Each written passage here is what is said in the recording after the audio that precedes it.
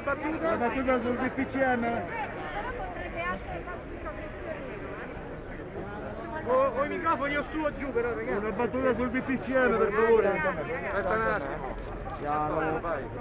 Aspetta, aspetta, aspetta, aspetta, aspetta, aspetta che hanno le canne da pesca. Mettilo giù, Giuseppe, giù.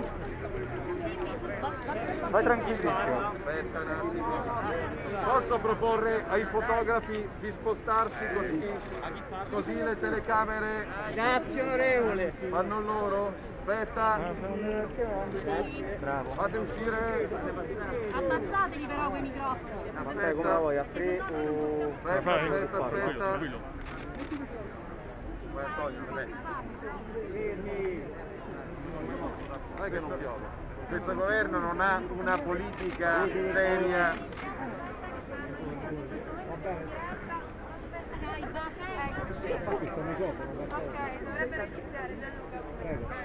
Questo governo non ha una politica seria per contrastare l'immigrazione clandestina. Pensa di fare una riforma positiva, invece sarà una riforma negativa.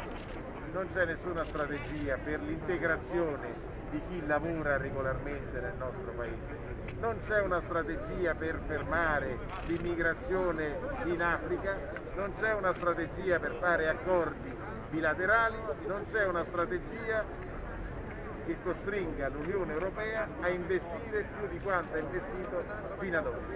Cambiare delle regole per rendere più lassista la posizione dell'Italia è un errore grave e lo si fa mentre ci sarebbero altre cose più importanti da discutere. Pensiamo a tutta l'azione per rilanciare l'economia del nostro Paese, il motivo per il quale noi abbiamo votato a favore dello scostamento di bilancio non mi pare che stia seguendo un impegno altrettanto forte da parte della maggioranza. Ecco perché siamo qui a insistere per tutelare le imprese e non per avere una politica lassista per quanto riguarda l'immigrazione.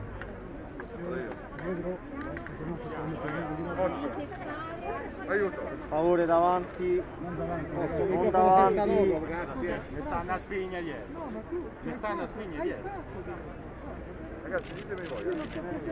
eh. Commento sul DPCM Eh, vado, vado. Sul DPCM. Centrodestra compatto settimana scorsa ha costretto il governo a dare 8 miliardi alle partite IVA, ai lavoratori autonomi e ai professionisti. Il centrodestra compatto oggi è in Parlamento perché incredibilmente in un giorno in cui ci sono quasi mille morti di Covid, la maggioranza di cosa parla in Parlamento? Di immigrazione. Per cancellare i decreti Salvini e riaprire i porti ai clandestini e agli scafisti e i portafogli degli italiani. È incredibile, ritirino questi decreti a favore dei clandestini, parliamo di quello di cui gli italiani eh, si stanno preoccupando, salute e lavoro. I morti di oggi ci dicono che ovviamente la salute viene prima di tutto e quindi gli italiani continueranno a usare precauzione e buonsenso, ma negare il Natale alle famiglie, ai genitori separati, ai figli lontani da casa, ai disabili e agli anziani soli è una follia.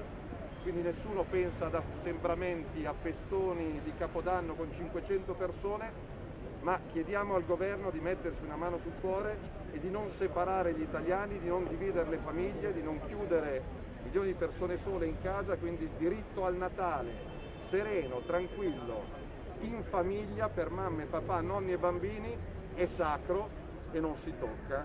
Prima di dividere gli italiani il governo ci deve pensare più di una volta. Sì, grazie.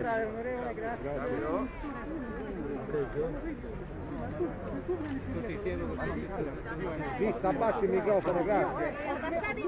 Vista il abbassi il microfono. microfono.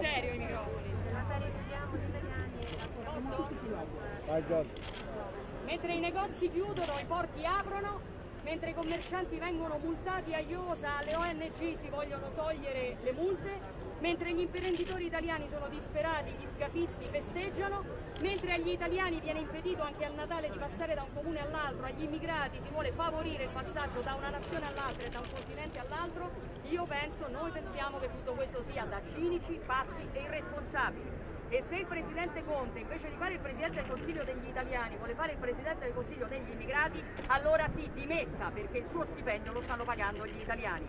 E noi che siamo il Parlamento della Repubblica Italiana oggi non vogliamo stare a discutere di immigrazione, noi vogliamo stare a discutere dei problemi degli italiani. È intollerabile che mentre noi parliamo dei decreti in sicurezza di Conte, lui vada su Facebook a dire che cosa gli italiani potranno o non potranno fare a Natale. È nel Parlamento della Repubblica Italiana che lo deve venire a dire, perché noi di questo ci vogliamo occupare e non di altro come piace fare invece alla sinistra.